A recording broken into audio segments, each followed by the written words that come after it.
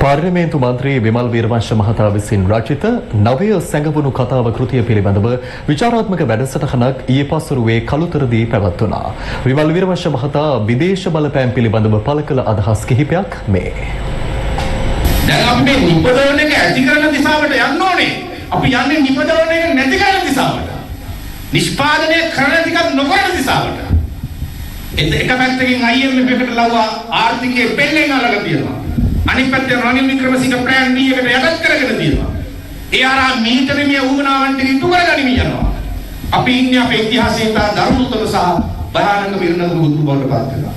මේක බේරගන්න නම් බේරගන්න පුළුවන් අන්තිම පැය හරියි මේක තේරුම් ගත්තු ජන සමාජයක්.